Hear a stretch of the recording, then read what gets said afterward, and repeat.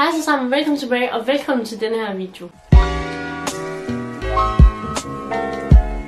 Er længe siden. Ja, der kom en video ud for sådan en uge siden, eller halvanden uge siden, eller sådan noget, to uger siden, jeg ved det faktisk ikke. Men før det, der gik der virkelig, virkelig lang tid siden, at jeg sidst lagde en video ud. Så derfor tænkte jeg, at det var på tide med en lille live update. Jeg håber virkelig, at jeg kan vinde stærkt tilbage, men det siger jeg tit. Jeg vil prøve i hvert fald at sætte mig ned og få mere styr på mit liv, fordi jeg har tid. Jeg skal bare prioritere min tid bedre. Men i hvert fald, jeg vil prøve at lave den her lille live update for at sådan ligesom sige, hvordan går det, hvad har jeg lavet, hvordan står det til, og bla bla bla, og så videre. Jeg vil starte med at sige, at jeg har har det godt, så no worries. Men øh, det går meget op og ned, vil jeg sige. Som nogle af jer ved, så nogle gange så min psyke, den fucker lidt. Og det tror jeg, mange unge gør, og især i 2G-tiden. Og nogle gange er jeg bare nede psykisk, og så bliver jeg nødt til lige at tage en total pause, hvor jeg ikke laver noget som helst. I forstår. Og nogle gange så kører jeg bare fuld på og laver sådan super, super, super meget. Og det er også det, jeg har gjort i rigtig, rigtig, rigtig lang tid. Og nogle gange er det et dårligt tegn for mig, fordi når jeg sørger for at lave planer hver dag, så er det også tit, fordi jeg flygter lidt fra min eget hoved. Det er bare dårligt, fordi at sådan, altså hvis jeg prøver at forklare, hvordan jeg har det, så er det sådan, ja, så er jeg stresset øh, i nogle perioder, og så får jeg ikke at mærke stressen, så sørger jeg for at lave noget hele tiden. Og så bliver man dobbelt så stresset. Altså, og så bliver det bare lagt ovenpå, og det bliver bare dårligere og dårligere, og derfor så kulminerer det ligesom til sidst, hvor jeg nogle gange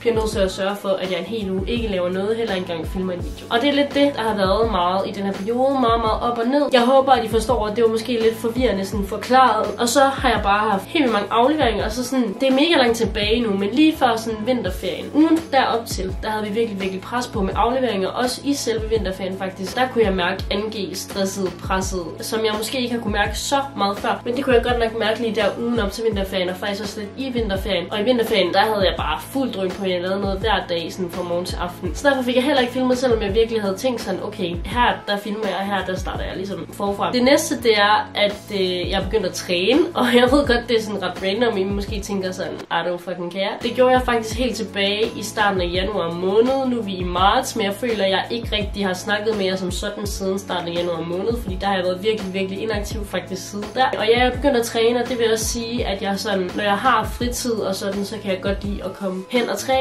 Det synes jeg bare er virkelig, virkelig, virkelig dejligt. Og det er slet ikke fordi, at jeg sådan er nogen træningsnarkoman eller noget, at jeg går vildt meget op i det. Det er slet ikke det. Men det fylder også lidt af min øh, hverdag nu, og derfor har jeg heller ikke lige så meget fritid tilbage. Jeg har generelt bare super, super, super svært ved at prioritere min tid, og det er virkelig noget, jeg tror også, man lærer i de her gymnasieår helt vildt, og det er også det, jeg sådan lige så stille prøver at lære. Fordi at som sagt, så nogle gange kører jeg mig selv for hårdt, og det er ikke at prioritere sin tid, for så får man heller ikke noget af afleveringer, så bliver afleveringer skubbet sidste øjeblik, og så når man jo heller ikke YouTube, som man egentlig godt kan lide. Det har bare været en lille bitte smule kaos ind i min hjerne, og i vinterferien har jeg haft super meget kaos i min hjerne. Jeg har ikke lyst til at komme nærmere ind på, øh, hvad det er og så videre, men shit, hvor har jeg bare kæmpet med tanker og hjerne, så jeg bare slet ikke har kunne orke at filme. Men ja, den sidste ting, jeg vil sige, det er, at øh, der måske, måske ikke også er...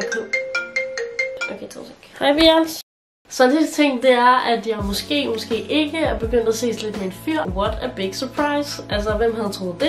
At klar, hun kunne ses sådan nogenlunde seriøst med en fyr. Øh, men, øh, men det skete, og øh, ja, det bruger jeg også tid på. Jeg vil lige sige, at jeg har ikke nogen kæreste overhovedet, overhovedet, overhovedet. Men I ved, hvad jeg mener. Der er en, jeg ser mere end andre fyre.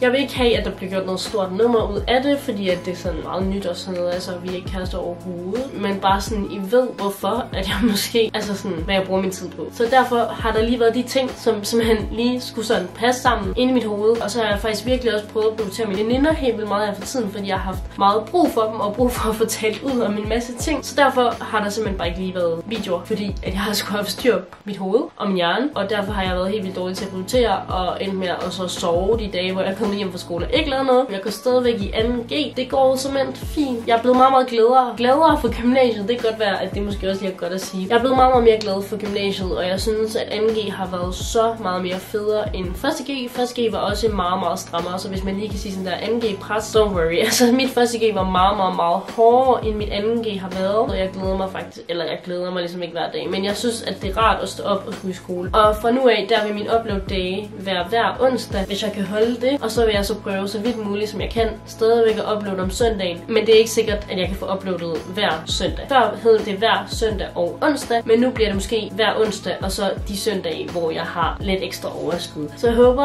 at øh, det lige gav jer lidt et indblik i, hvorfor jeg har været væk. Tusind tak fordi I så den her video, selvom det var mega forvirrende. Jeg er mega dårlig til sådan noget her live update, fordi at jeg, øh, I ved, jeg kurer bare rundt i, hvad det er, jeg prøver at sige, selvom jeg har lavet en liste på, hvad jeg skal sige. Og så ses vi sådan bare i min næste video. Hej hej! I said, okay, fuck it. November, I'm dropping on the 8th like a trade five. Sweet on the Noir. Album sound like watching Martin thinking Trayvon. New ice skates on the Noir. My shit timeless like great wine. Heard through the bake vine. Shorty wanna fuck shit. Great minds. Really, I only came through for the great mind. Give me that, ooh, great mind. Ooh. You know what they say about Brainiac.